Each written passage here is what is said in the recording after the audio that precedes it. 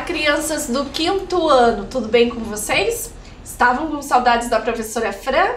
Eu estava com saudade de vocês. Hoje nós vamos para a nossa aula de número 7.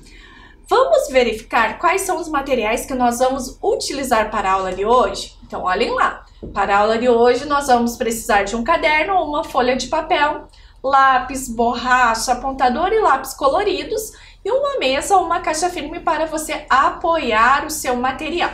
Crianças, antes de eu dar aquele tempinho para vocês separarem né, o material de vocês, vocês já cumpriram todos os nossos combinados?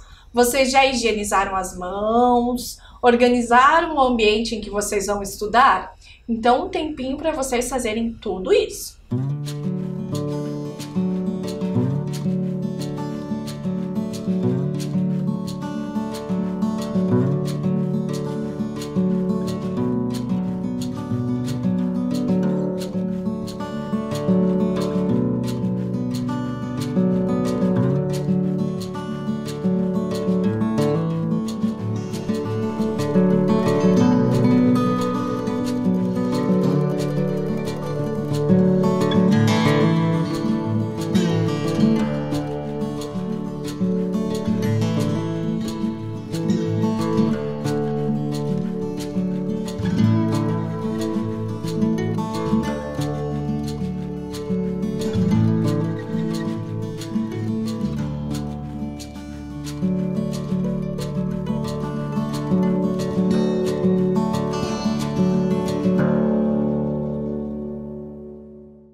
certinho aí, tudo pronto, crianças? Então vamos começar? Mas para que nós possamos começar, vamos relembrar o que nós vimos na aula anterior. Então vejam lá.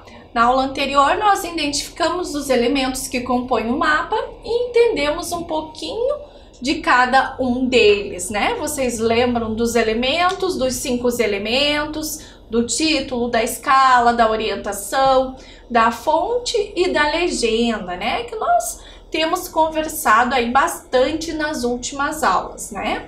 Então, hoje, na nossa aula, nós vamos conversar sobre representações da superfície terrestre. Então, vou dar um tempinho para vocês colocarem o número da nossa aula, a data de hoje e o nosso tema.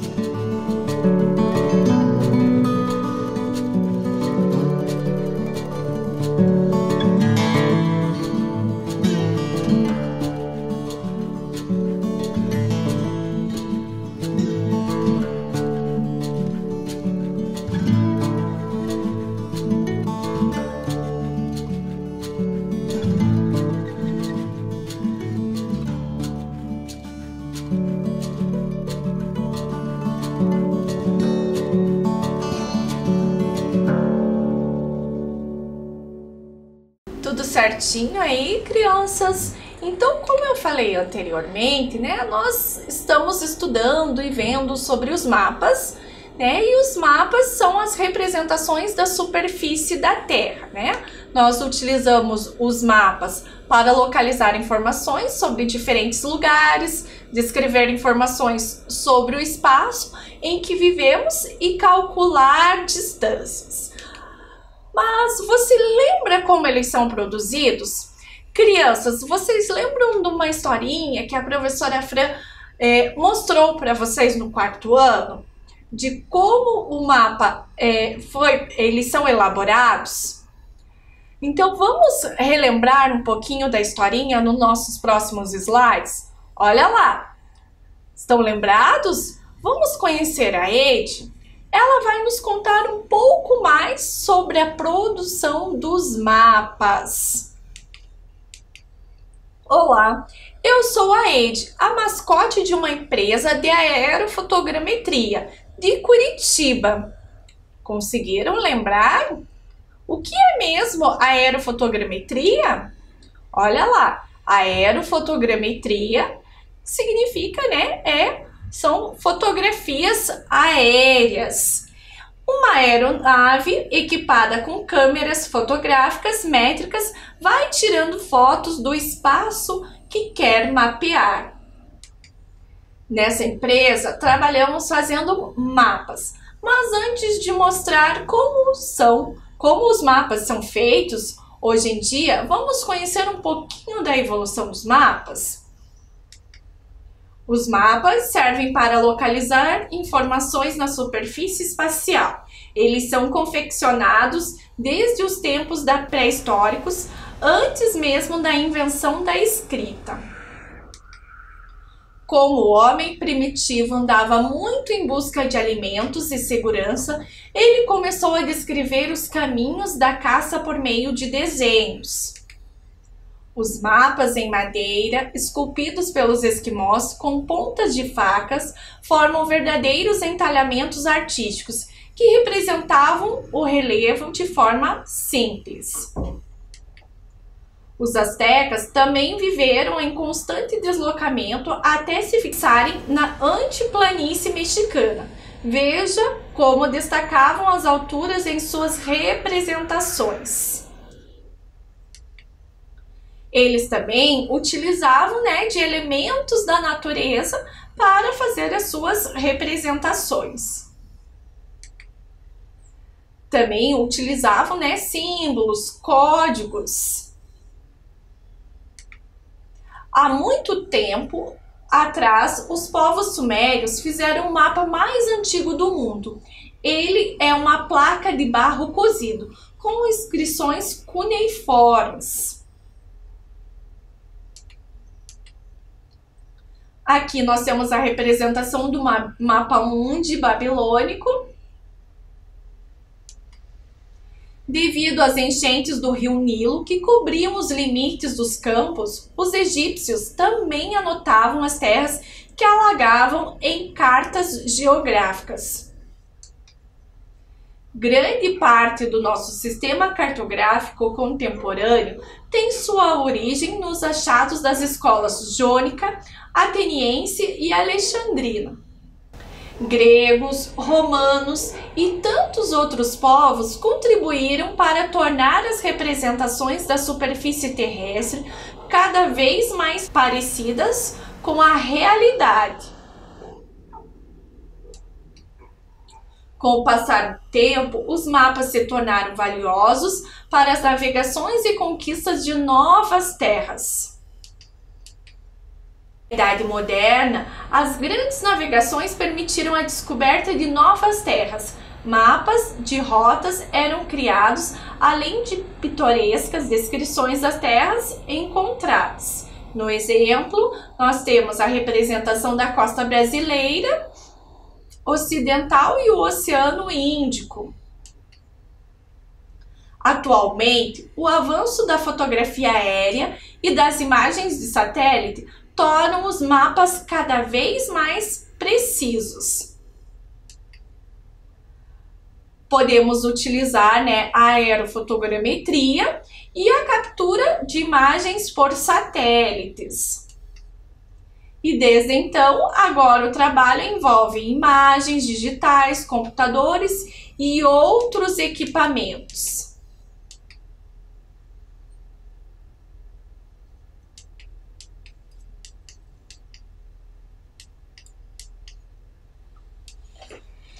Antigamente, os mapas eram feitos à mão. Hoje em dia, os cartógrafos utilizam os computadores, fotografias aéreas e as imagens de satélites na elaboração de mapas mais precisos e com detalhes que se aproximam cada vez mais da realidade.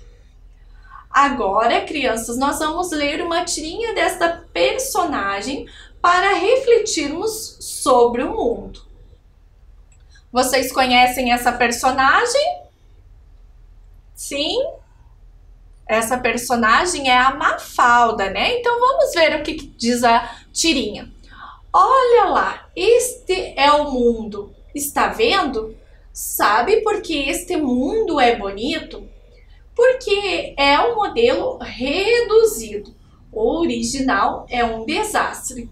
Crianças, pensando aqui nessa tirinha da Mafalda, né? Ela está mostrando ali para o seu bichinho de pelúcia uma representação do planeta, né? Do mundo, do planeta Terra. Qual é a representação que ela está utilizando? E ela está dando uma informação de que essa representação é reduzida, né? E o que será que ela quis dizer com o original é um desastre? Será que nós estamos cuidando certinho do nosso planeta? O que, que vocês acham? Olha lá a questão que a professora Fera trouxe. Você observou que na tirinha Mafalda utiliza um objeto para representar o mundo. Qual é o objeto, crianças? Então, tempinho para vocês registrarem aí no, no caderno de vocês o nome do objeto que a Mafalda estava utilizando.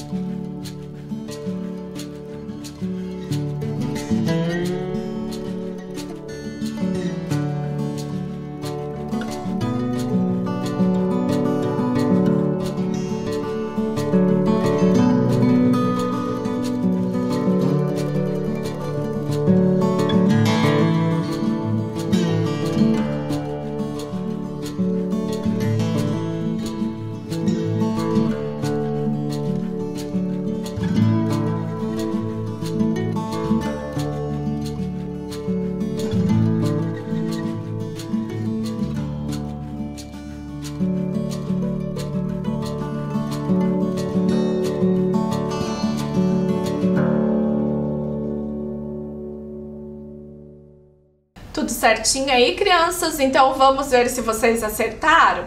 Se você disse globo terrestre, muito bem, né? Se você escreveu no seu caderno, você está de parabéns. Mas vamos verificar, né, um pouquinho sobre o globo terrestre. Olha lá. O globo terrestre é uma representação em escala reduzida do planeta Terra. Ele tem um formato esférico e nele observamos os oceanos, lagos, continente e ilhas. Que mais, crianças, que nós podemos é, verificar e observar no nosso globo terrestre? Vamos dar uma olhadinha? Então, crianças, observem aqui que nós temos, né, o globo terrestre, que nós temos toda a parte, né, em azul representando a parte ali dos oceanos, que nós temos nas cores verde, é, vermelho e amarelo, a questão ali dos continentes, né? Mas o que será que nós conseguimos é, olhar também no nosso globo terrestre? Então, se vocês é, perceberem, crianças, a professora Fran colocou algumas setinhas no nosso globo, né? Aqui, bem na, na setinha laranja, nós temos a, a indicação da linha imaginária do Equador, que é toda essa linha tracejada que vai, né, é, passando aqui pelo nosso é, globo terrestre, tá? Além da linha imaginária do Equador, nós temos outras duas linhas imaginárias bem importantes também, que é o Trópico de Câncer, olha lá, que ela está a norte, né, do, da linha do Equador. Nós temos a linha do meridiano de Greenwich e nós temos o trópico de Capricórnio, que está ao sul, né, da linha do Equador. Tudo certinho, crianças? Além disso, nós temos a indicação nos polos. Nós temos aqui o polo norte e o polo sul. Então, nós podemos também identificar, crianças, as linhas imaginárias no nosso globo terrestre.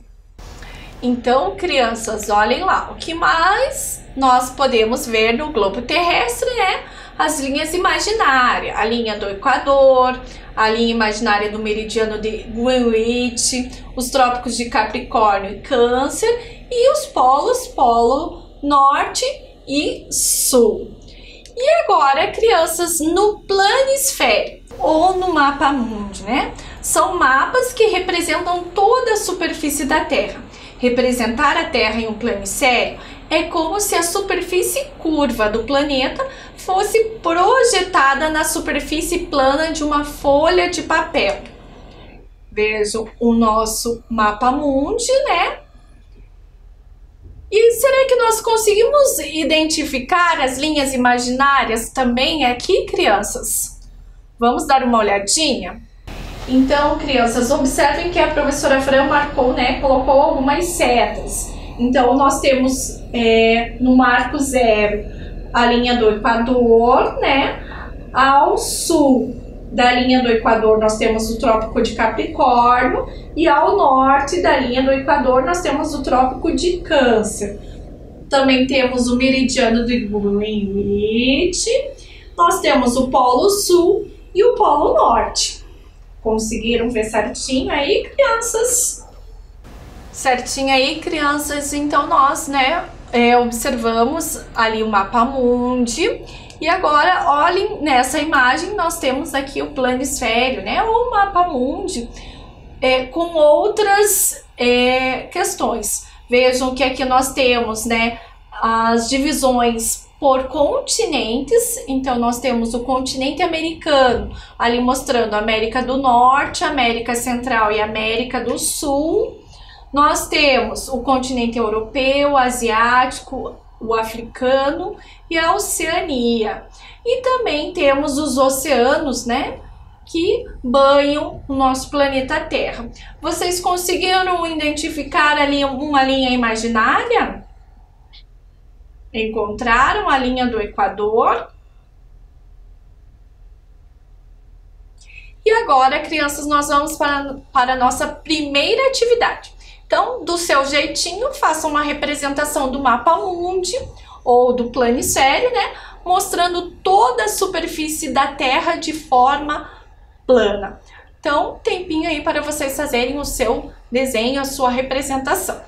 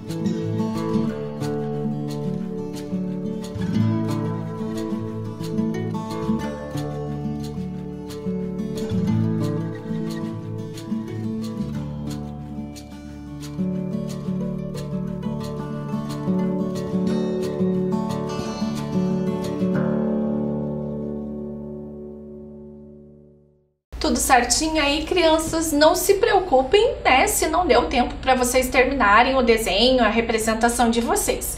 Depois vocês terminam com calma. Agora nós vamos para a nossa atividade 2. Vejam do que se trata. Escreva o que está representado no mapa mundi ou no planisfério. Calma, eu já vou colocar, né, a imagem para vocês verem. Então, que a gente conversou, o que a professora Fran mostrou para vocês, né? Vocês observam e escrevem, tudo bem? Então, no caderno vocês vão colocar atividade 2 e escreve aquilo que vocês observaram nessa imagem aqui, o que nós temos, né, como representação dessa imagem. Tempo para vocês fazerem atividade 2.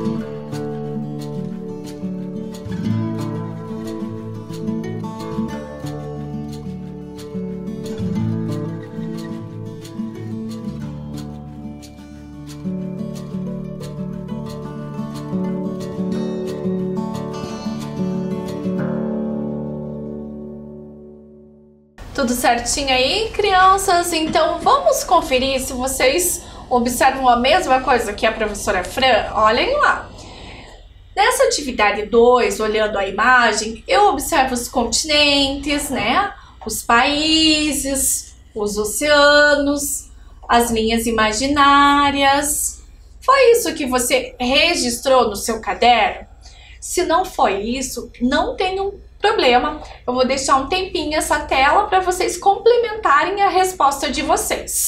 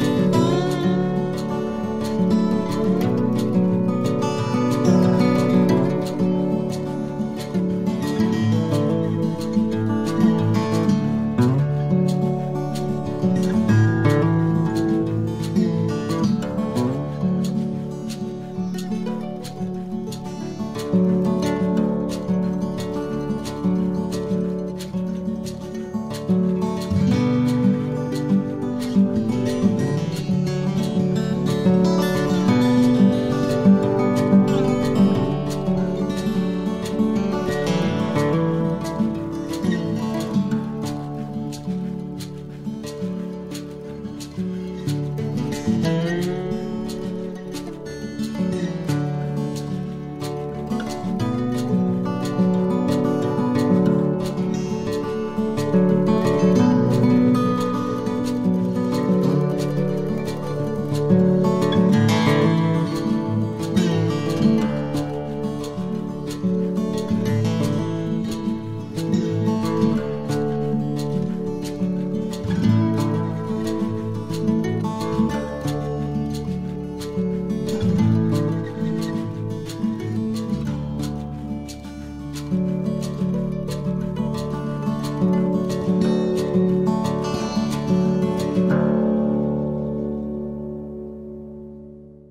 certinho aí, crianças? E nós estamos chegando ao final de mais uma aula de geografia.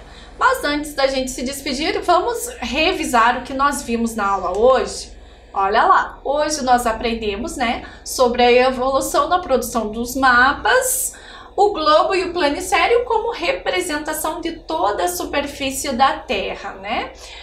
E a professora Fran agora se despede de vocês com um super beijo e até a próxima aula.